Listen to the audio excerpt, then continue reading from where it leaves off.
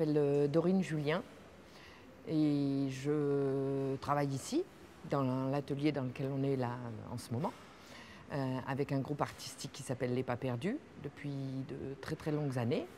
Et donc euh, voilà, les Pas Perdus ont, joint, fondé, initié avec les autres pillards la structure collégiale Les Huit Pillards.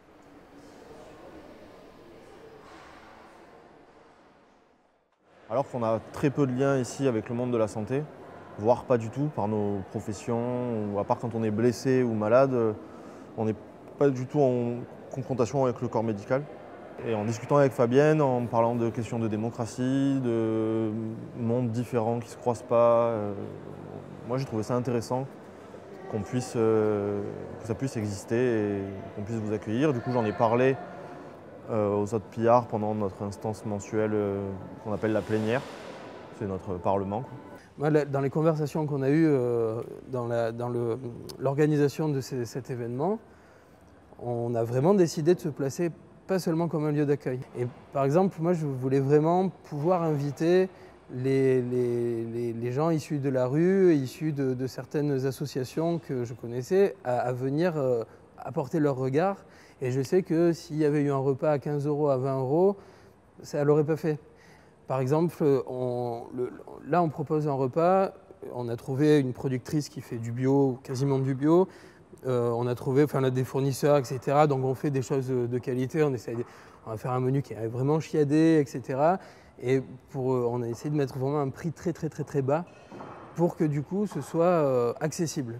Ça résonnait en fait aussi comment nous on se dépatouille en fait, avec les besoins euh, assez urgents aussi du monde du secteur culturel.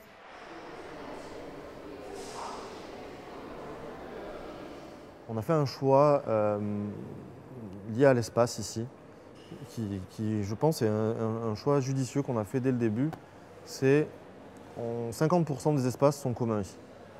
Et 50% des espaces sont à peu près euh, sont privatifs et appartiennent à des artistes ou à associations ou artisans.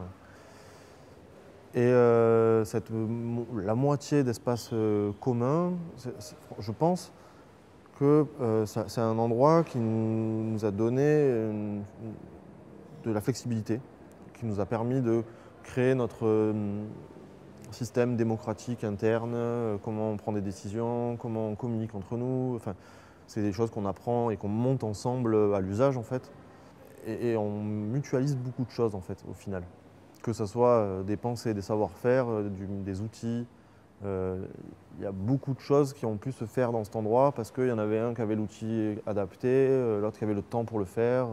Et, je fais une analogie avec, encore une fois, ici, c'est que du coup, quand, on a plein de métiers différents, plein de savoir-faire, plein de regards, plein d'âges différents. Et en fait, euh, dès que, enfin moi quand je bloque sur quelque chose, il suffit d'être à un repas, parce que tout se passe dans les repas surtout, et des repas partagés, des repas collectifs. On expose son problème, et en un quart d'heure, c'est plié en fait.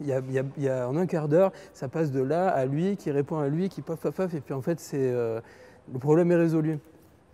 Donc voilà, pour moi, le commun, c'est ce truc-là. Et, et dans, le système de soins, c'est euh, pour moi justement, c'est d'arriver à avoir le plus de regards différents, même des regards qui ne sont pas forcément euh, des éclairages en fait, comme éclairer une scène avec différents spots. On éclaire toujours la même scène, mais suivant comment c'est éclairé, on ne voit pas les mêmes choses. Pour moi, c'est dans, le système de soins, plus il y aura de regards différents et même de regards qui sont très éloignés d'un fonctionnement de base, et plus, plus ce sera riche. Voilà.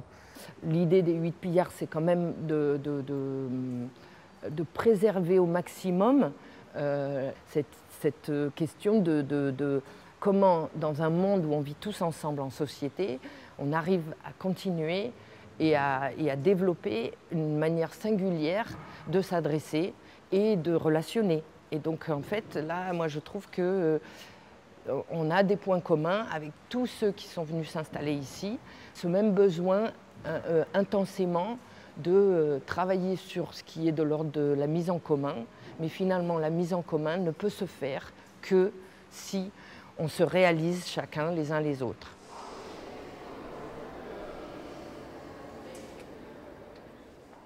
ce qui m'a touché, profondément touché, pas dans le bon sens, c'est dans les rapports, des rapports dans la rue, par exemple, les gens qui se croisent, qui se croisent plus, qui se croisent plus du tout.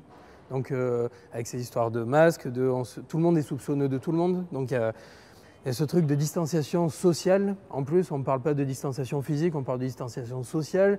Et le fait de, plus, plus faire la bise, plus approcher les gens, plus prendre les gens dans les bras, moi ça m'a vraiment profondément touché, vraiment profondément quoi.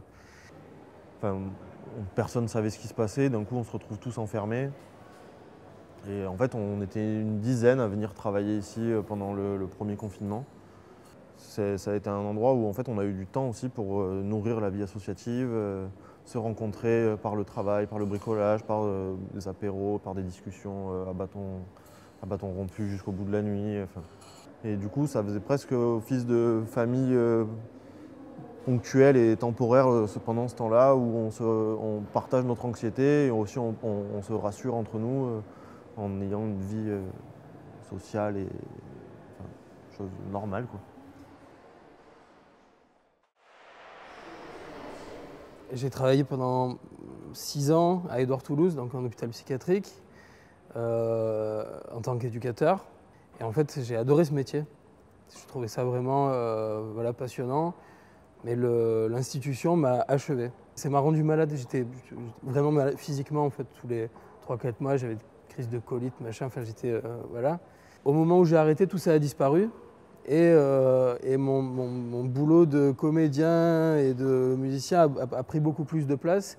Et euh, j'ai fini par, par retrouver ces publics et retrouver, retrouver cette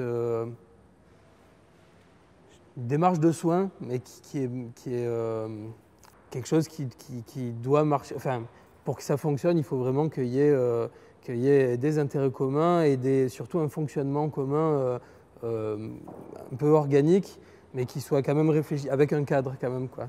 Finalement, dans le monde de la santé, ce qu'on constate, c'est qu'ils euh, ont besoin, en dehors des institutions, de se retrouver dans d'autres modes d'organisation, que dans ces modes d'organisation, finalement, qu'est-ce qu'ils demandent?